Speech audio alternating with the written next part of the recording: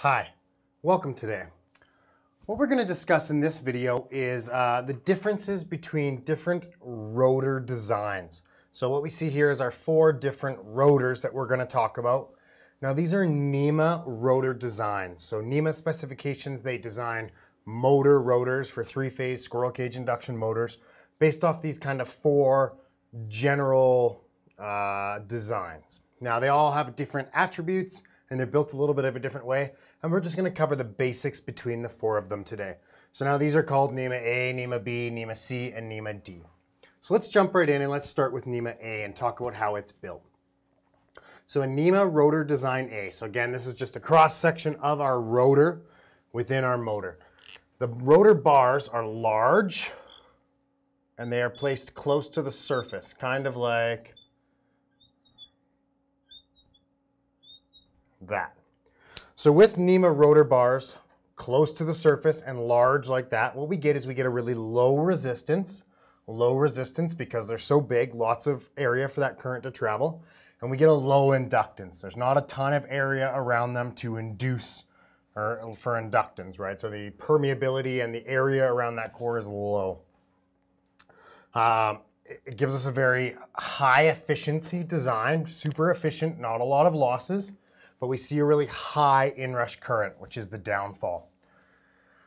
Right, so that's kind of that rotor design. Um, now what we see, now let's talk about uh, some attributes of that rotor. So again, like we said, very efficient, super high inrush current. In fact, our inrush current, so our I, again at start, oops, is about 600% of our full load current. So we have a really, really high inrush current. What we also get is our torque at start. So our torque at start is about 150% of our full load torque. Now our peak torque, or the breakdown torque is what we like to call it, peak torque, breakdown torque, is actually about uh, 200% of the full load torque. And it usually occurs at about 25% slip. So that's a rotor design A. Now the next one I want to talk about is a NEMA rotor design B. Now this rotor design B, it's our most common rotor. Um, so what we kind of see is, it's pretty efficient, it's our most common. We see those large bars, but we see them inset from the edge a little bit. So it looks something like that. So now what this does is we still have that really low resistance of the large rotor bar, but what we see now is we see a higher inductance. So we get a little bit more losses because of that, but because of that, because of that higher inductance, we actually see a little bit lower of an inrush current, which is what makes this the most popular rotor. It's gonna have the same torque values as our A, but we get a little bit lower inrush. So our I at start, or our inrush current, is only 500%. But like I said, we're still going to see at start,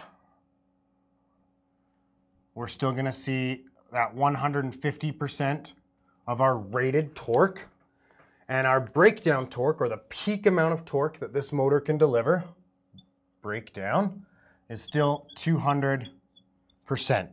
So two very, very similar motors. Uh, the only real difference is that A is going to be just a little bit more efficient than a B, and B just has a little bit less inrush current. So really depending on your application is going to depend which motor you choose. Now we get into rotor C and rotor D. They're a little bit more specialized. Um, these would just be general use, frequent start, uh, regular loads. Now with a C, what we get with a NEMA rotor C is there's actually two sets of rotor bars. There's an outer set, which is small rotor bars close to the surface. Then there's an inner set, which is bigger and a little bit further in, kind of like that. Now they typically are connected with the rings, the end rings at the end of the rotor. So typically they're electrically the same. Sometimes they're not. Now what this does, our outer bars have a high resistance and a low inductance. That gives us a really good inrush uh, or a starting torque. So we get a really, really high starting torque value. So that's at start, the current's gonna run towards the outside. As it starts to run and ramp down, then it, the current's gonna start to run on the inside, inner rotor bars, where we have a high resistance and a lower inductance, which gives it a really, really efficient run. Um, some problems with this though, uh, again, it's very efficient and we get a very high starting torque. The problem is, is this motor rotor cannot dissipate heat very well. So it's not good for frequent starting or high inertial loads because it gets really, really hot, which we know is bad. Uh, so what we kind of see here is our I at start is still that 500%. Our torque at start is about 225%. And that 225% is also our breakdown torque. So we experience the highest level of torque at start. So this motor is it can start those high inertial loads, but not frequently, again, because it's not going to dissipate that heat. That brings us to our fourth NEMA rotor design. Now our fourth NEMA rotor design is the D. Uh, the way the D works is I have a bunch of bars, small rotor bars, close to the surface. So with the small rotor bars placed close to the surface, we see a high inductance, nope, sorry, a high resistance and a low inductance. So what that gives us is that gives us a really, really high starting torque.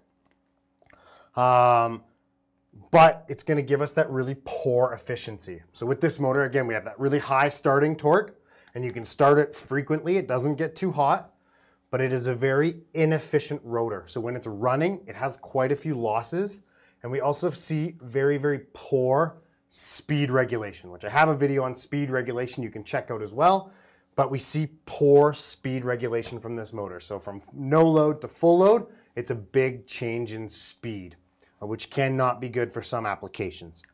Uh, so with this, what we see is our current at start is equal to about 400%. So we have a really low starting current, which makes it desirable. Uh, and we see a torque at start and it's our highest one at 275%. So we get a really, really high starting torque. And at start is when we see that breakdown torque. So that's when we actually see the peak amount of torque produced is at start. So I really hope you liked this video. Just a super quick overview of the four NEMA rotor designs.